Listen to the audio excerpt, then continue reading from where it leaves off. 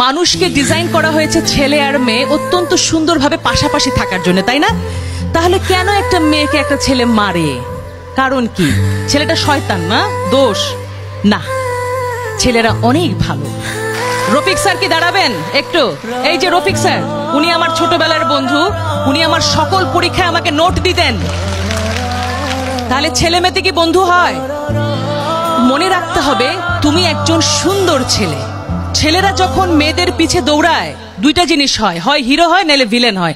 তুমি কি হইতে চাও? হিরো, ভিলেন হইতে চাইলে কি হবে জানো? পিছে পিছে দৌড়াবা, ওই যে পুলিশ এসপি সে ধরে নিয়ে আবার একটু পেদানি দিবে।